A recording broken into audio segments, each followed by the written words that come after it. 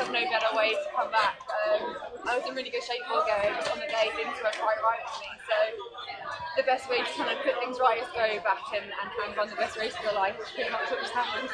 How did that unfold for you? Was there a point where you thought you just go for it? Well, I was never, never meant to hit the front, mainly because of the way the course was, and it's kind of too dangerous always to try and take it out. Um, but the lap to go, I found myself kind of being, you know, at the front naturally, and I wasn't trying to go at all um, until I got to about a kilometre to go when my coach said right now to go, so that's when I started pushing big pace. And then I'd never go unless he told me to because he had strict instructions just to go sensible. So I didn't want to be the person that went out and got caught. So I was, I was waiting and waiting. Then when I got the call, I just tried to leg it as much as I could. Okay, in fact, your confidence coming into this, or did you fully expect to be challenging? Uh, not at all. I think literally after a few days I was fine after Bulgaria. It was more of a shock to the system um, and training was going so well. So there wasn't actually ever an issue. I think if there was an issue then yeah, but my confidence was affected. But training did go really well. Been training the best I've trained. So um, in terms, it was just executing it on the day. That was the main, you know, target was executing it because fitness wise I'm absolutely fine. So um, no confidence, you know, just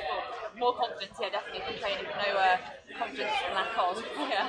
Like running make you run quicker to get? Uh, well, I thought everyone else going to do it, kind of feels a bit more dramatic because you're trying to get away from people. And particularly the point when my coach said go, I came back, ran up the top of the hill again, and there was hail in my face. And I was thinking, this is the worst point to go, but I have to go now, um, just to try and get a bit of a gap and just push it on. Um, and it was crazy. I don't remember much because I was just so numb from running, and I definitely thought a change of pace wasn't too possible because it was so numbing on your body. So it was like kind of holding the gap and feeling strong. What's your, Like me, even in training, like I love to, training crop tops and stuff like that. So I mean, obviously health reasons, I put clothes on, you know, during sessions and stuff. But especially for races, like it's kind of my racing outfit. So I only in exchange try and put on longer sleeves. And me in general, like call ourselves like a crop top girls. But I just it's like my racing kit, so I kind of feel like I'm ready to race with the crop top on. So I was beforehand anticipating putting on last minute uh, long sleeve, but it looked like too much effort, so I didn't. How much of a mission are you on to try and make sort of bigger impact on the track this year?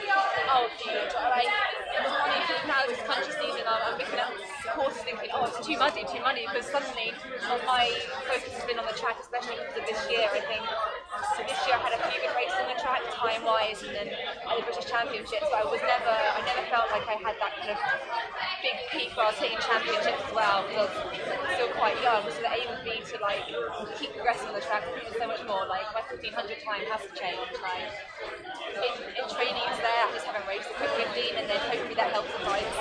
Um, definitely I, I'm for myself in the track now rather than the country. I still like both, but I used to definitely on the track. You do the full cross country season. Um, I've got one more definite for country, which is BUCS, I'd like to represent my university, and then after that I might be playing some indoors.